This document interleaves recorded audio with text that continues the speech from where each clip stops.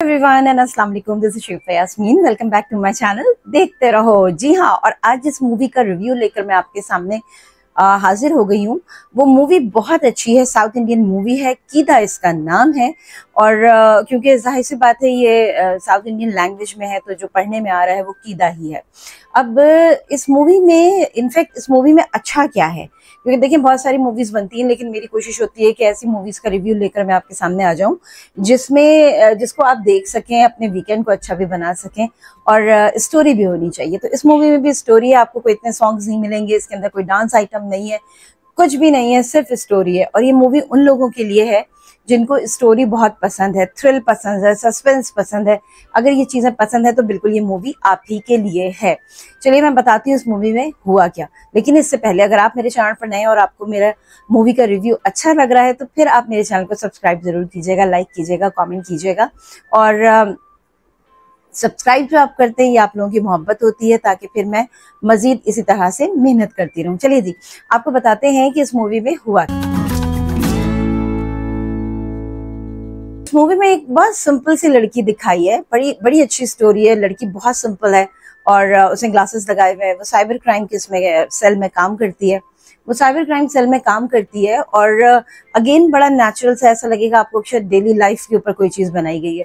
एक दिन गलती से मूवी जो स्टार्ट होती है एक मर्डर से होती है। एक दिन गलती से ये होता है कि इस, ये किसी को फ़ोन कर रही होती है उस गुंडे को फ़ोन लग जाता है, बस। वो जो है इसका नंबर अपने पास सेव कर लेता है और फिर इसको तंग करना शुरू कर देता है।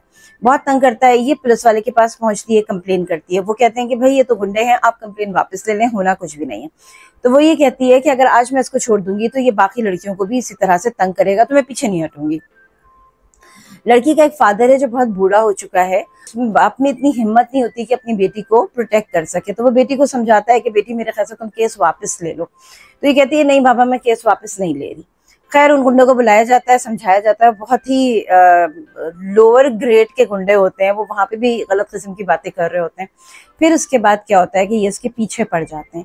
घर के बाहर खड़े हो जाते हैं बड़ी डर्टी टॉक करते हैं, फिर बदतमीजी कर रहे होते हैं, पूरा वक्त उसको फ़ोन कर रहे होते हैं। फिर इसके फादर को जो है वो गाड़ी में ये घेर लेते हैं और लोगों के साथ और बहुत मिसबिहेव करते हैं। बहरहाल ये आती है और अपने फादर से कहती है, आप गाड़ी निकालो यहाँ से, हमें हमें जाना है यहाँ से। एनी चलता रहता है। इतनी इंतहा हो जाती है कि फिर वो ये करती है कि साइबर जो लॉ होते हैं, उसके अगेंस्ट जाती है और जाने के बाद उनके सारे फ़ोन जो है वो टैप कर हैक कर लेती है। अपने एक फ्रेंड की मदद से। तो उसका फ्रेंड कहता है कि तुम तो कह रही थी, ये नहीं करना चाहिए, किसी की प्राइवेट बात नहीं सुननी चाहिए। वो कहती है, लेकिन मैं अच्छे के लिए करना चाह रही हूँ ताकि ये आइंदा किसी और लड़की को इस तरीके से परेशान ना करें। खैर, वो सारी चीज़ें हैक हो जाती हैं। ये अपने घर पे बैठी हुई सिस्टम में सारी चीज़ें देख रही होती है।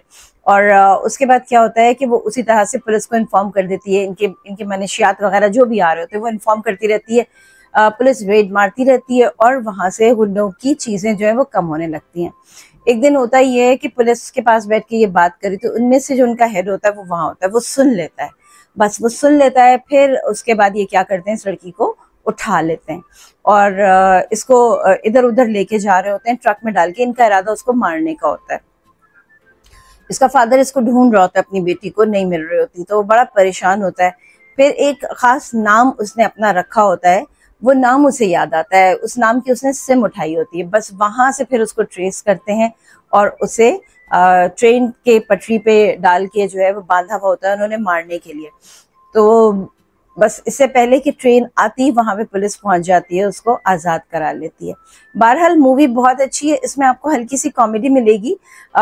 स्टोरी में पूरी डिस्क्लोज इसलिए नहीं कर रही कि फिर कुछ देखने के लिए भी रह जाना चाहिए तो आप इस मूवी को ज़रूर देखिएगा। अगर आपको सस्पेंस अच्छा लगता है एक्शन अच्छा लगता है स्टोरी अच्छी लगती है स्टोरी वाइज एक्सलेंट मूवी है।